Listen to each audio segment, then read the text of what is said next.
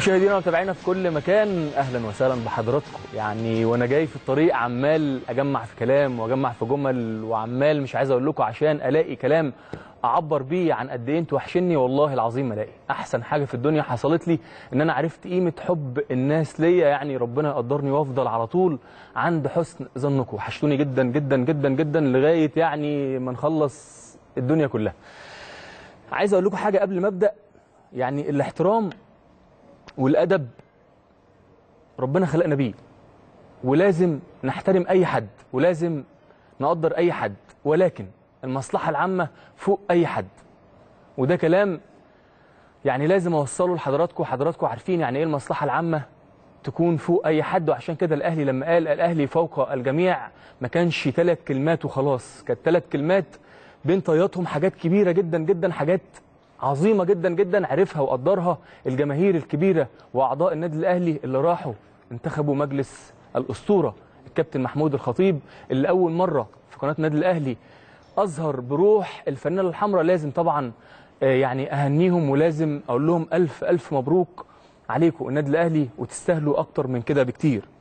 عايز أقول ألف مبروك للأسطورة الكابتن محمود الخطيب ومجلسه الموقر أستاذ العمري فاروق نائب الرئيس والمهندس خالد مرتجي أمين الصندوق والأستاذ طارق أنديل الأعضاء والأستاذ خالد مرتجي كابتن رانيا علواني مهندس خالد مرتجي آسف كابتن رانيا علواني إبراهيم الكفراوي محمد الضماطي مع الاحتفاظ بالألقاب وكابتن جوهر نبيل محمد الجرحي مهند مجدي محمد سراج الدين مجلس قدام حضراتكم حاجة تشرف النادي الأهلي هو ده المجلس اللي بروح الفانيلا الحمراء اللي طلع الناس من بيوتها. علشان تنتخبه. اللي استفز الناس في ناس عمرها ما كانت راحت النادي الأهلي عشان تنتخب نزلت وراحت النادي الأهلي تنتخب.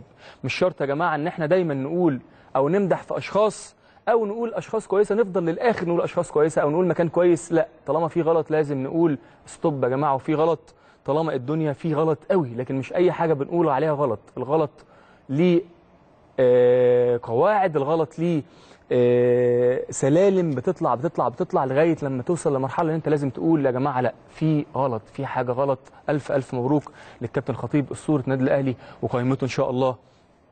ليهم كل التوفيق مأمورية أو مسؤولية أو يعني حاجة كبيرة جدا جدا جدا في أعناق هؤلاء الرجال. إن شاء الله يكونوا قدها وقدود.